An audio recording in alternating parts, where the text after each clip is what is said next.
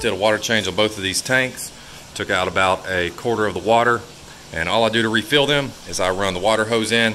I got pretty hard water here in central Indiana.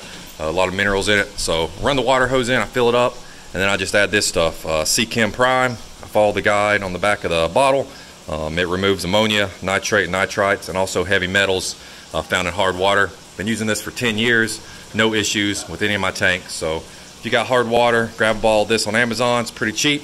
Just run your hose straight in your tanks. No issue.